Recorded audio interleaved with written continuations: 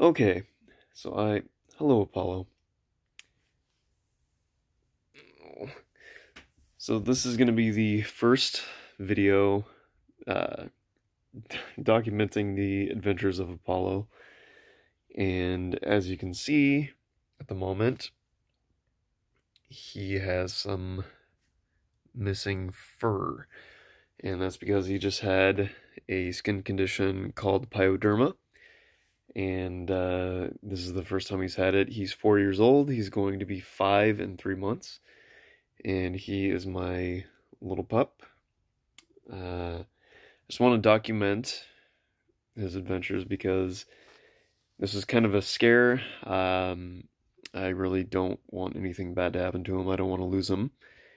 And this will just be the beginning. I have a plan to get out more often and take him on hikes um, and just see more of the state, see more of the world.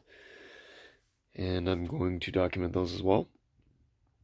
Right now, he is resting on a pile of blankets that I set up for him because he likes to snuggle in them. Other than that, he is a very good boy, and I love him. And he's normally a lot happier. He's normally very smiley, but uh, just not at the moment, which is completely understandable. So there's no editing in this video. There is no uh, effects. There's no music. There's no anything. This is just an introduction, and uh, you'll get to see more and more of this little guy and probably some of the other animals as time goes on. But that's about it.